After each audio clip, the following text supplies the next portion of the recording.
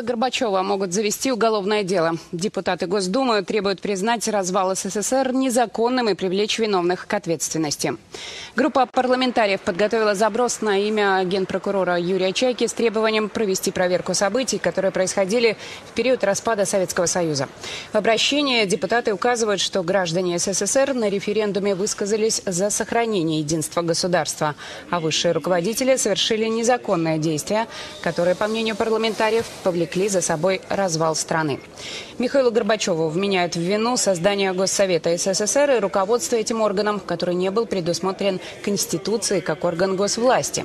Депутаты заявляют, что такого рода преступления не имеют срока давности, а сам Горбачев не обладает иммунитетом против уголовного преследования.